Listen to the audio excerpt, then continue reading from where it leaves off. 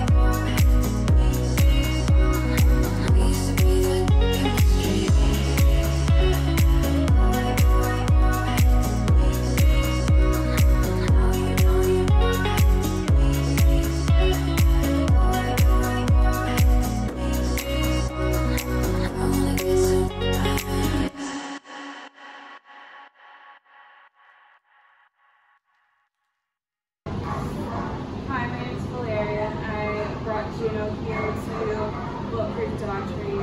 Um, she's very energetic puppy, and I wanted to make sure she had those strong foundational skills before she grew up, and potentially I didn't want that incident to happen.